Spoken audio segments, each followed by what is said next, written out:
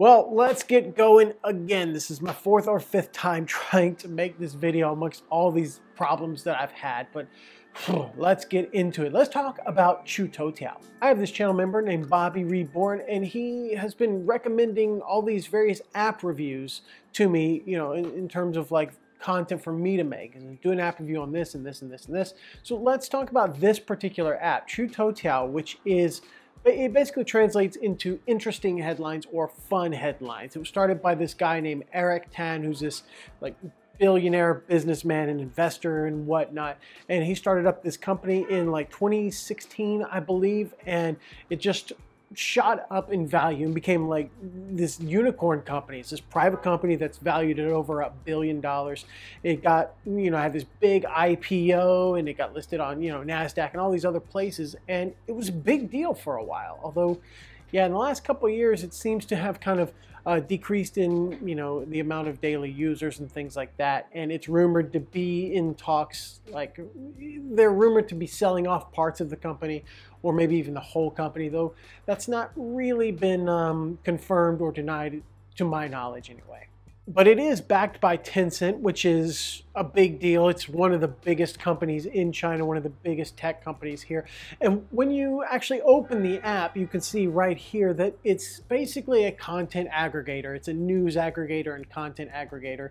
So you open the app and there's all these different avenues of content for you to explore just at your leisure. So let's get into the app and see what the user experience is like and if this is something that you will want to get into yourself. You open it up and then bam, you're instantly, well, whoa, okay. So a bunch of notifications just immediately pop up trying to get you to click on this. There's like, what, three of them? And then this pops up on the top of your screen and then you've got to X out of this. So immediately you get blasted with all these notification tabs and like this activity, this thing, this thing. And I noticed when I first opened it, when I opened it the first time, uh, like I've had all these problems. So, but when I but when I opened it the first time, uh, it immediately started downloading other apps, which I'm like, uh, I didn't say that that was okay, but it started immediately downloading other apps to my phone. I don't like that. And it wants you to link in your WeChat and like various other apps into this. And so it just seems to me, first off, that this is sort of a data grab, right? It's sort of a data grab.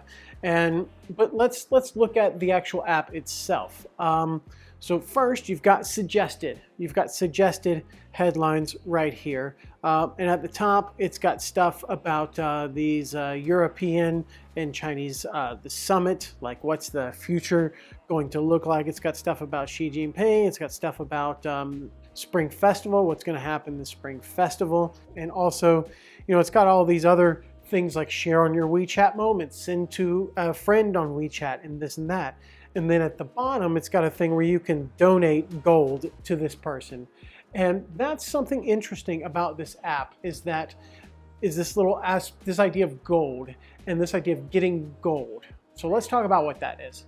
So when it comes to gold, you actually, if you go back to your home page, when you go back to your home page like this, there's a thing on the left right here that shows you all the gold that you have accumulated. So I have 10,464 little gold nuggets. And so you get these gold nuggets based on your interaction with news articles and the amount of time that you spend on the app. And the idea is for you to spend as much time on the app as possible, share as many articles as possible, leave as many comments as possible. And with that, you get gold, and that actually translates into money. You can actually make money using this app. So you can keep track of your income and things like that. It, it's, a, it's an interesting idea. It's a way to kind of keep you in the app, but I, I don't at least for me, the kind of person that I am, I don't think that this is going to be, it's not going to entice me to keep using it, you know? Besides your gold count, you've got next to it the amount of gold I've earned today. You've got how many articles have I read today.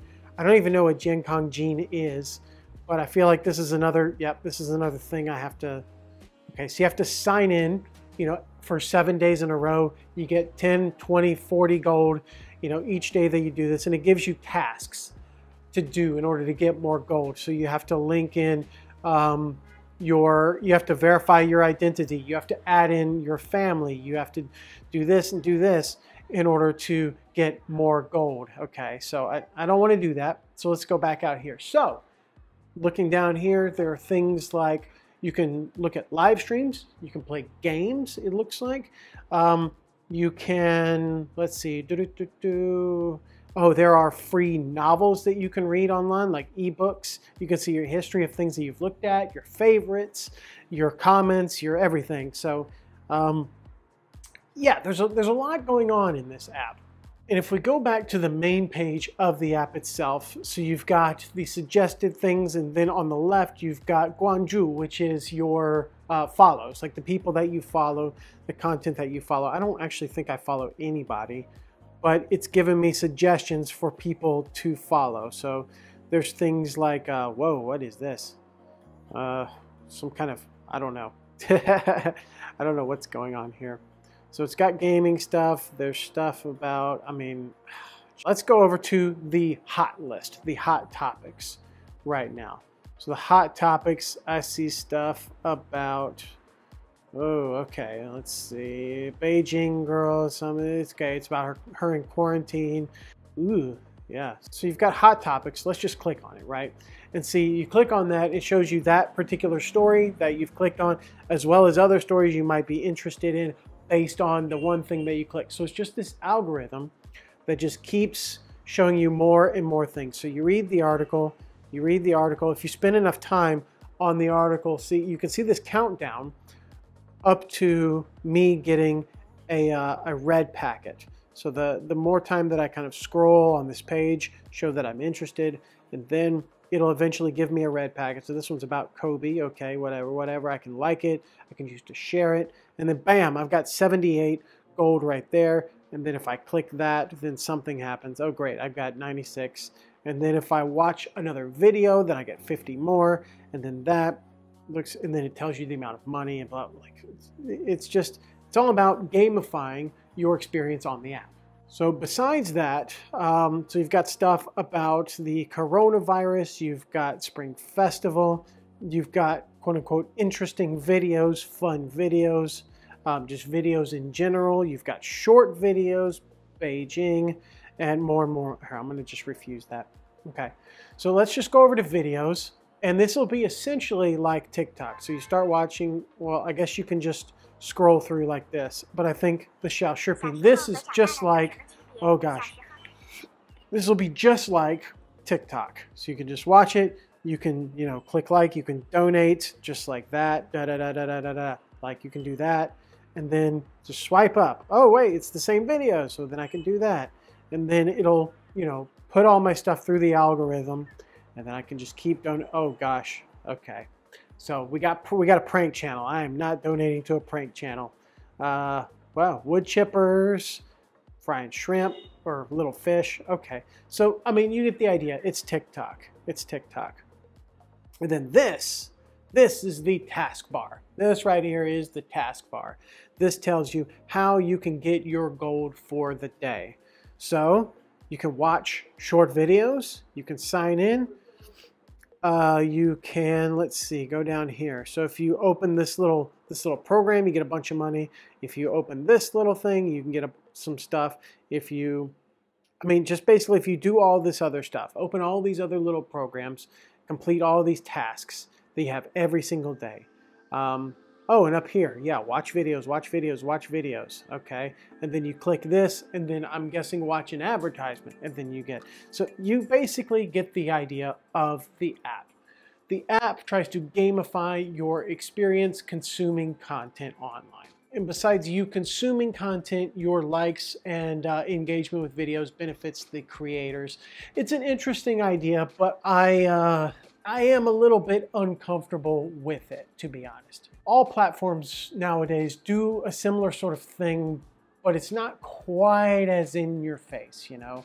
You open this little thing, give permissions to this little mini app within the app, and then like the permissions involve giving over like an email or giving over this. Like it just, everything, they kind of, they, they're building a little web of information gathering, and it's kind of, it's kind of weird and it's sort of in your face. Um, I, I I'm not a fan. That being said, I guess I do do similar things with other programs. I mean, I'm on all sorts of social media. I am sort of a public figure in a way. I mean, all, all of I'm on all the social media platforms, just about except for TikTok. but yeah, it's uh, it, it is weird. That counter around the uh, around the Hongbao, the little red packet, spend enough time on this page and then boom, I get my goal. Like that's um that's weird, but I can see people getting sucked into this. Like I can see people spending hours and hours a day just on any type of downtime that they have just on this app just so that they can maybe get a couple of yuan. And what is interesting, and I think what has sort of led to the drop off in their monthly users and daily users is that the content, at least that I was looking at, the content's not that compelling. It's not that interesting. I would rather get on Weibo, for example, or I would rather get on Twitter. I would rather get on any other type of social media to get my news, uh, you know, or Baidu. There's another one called Jinri Toutiao, which is which is a better aggregator. Um, I'd rather get on those because um, I didn't I didn't find this content very interesting. But what is interesting is the fact that there are so many types of content available, and China is really good at this. Is like creating these super apps where it's almost like one-stop shopping for content. WeChat is very good about this. You have these little mini programs. You can play games. Uh, you can read this, read that, and, th and th this app does a pretty good job with that as well. Um, there's a lot to it, and I mean respect respect. But it's not personally for me. And if you're not someone who can read a lot of Chinese, like even some of these things, like I can, uh, like I can understand some of these things, like right here, uh, Lao Wai Di, Sichur, Beijing, Shua Yang Ro, blah, blah, blah. Like it's got all, like I can read a, a lot of these things, but, um, you know, when I see really specific headlines dealing with political things or things that are not in my vocabulary range, even I can't understand some of it. Um, I've been here forever. My Chinese is pretty good, although mine's more spoken and listening based than reading. So, well, my bad. And yeah, uh, that I guess kind of concludes my app review. I don't even know if this was an app review. It's just a just a kind of walkthrough of my first impressions of this app. So it is kind of unorganized. Uh, I don't really know how I wanted. I didn't really know how I wanted to approach it, but there it is. there it is. So yeah, Bobby, there you go. There's a look at Qu Toutiao. I hope you enjoyed it. I hope everybody else enjoyed it. So thank you all very much for watching. Uh, you know, become a channel member so you can maybe suggest a few videos or just if you feel like supporting the channel, great. I've got Patreon or you can buy me a coffee. That's all fine as well. Um, or if not, just live your life, you know, just live your life. Uh, again, thanks for watching. I'll see you all next time.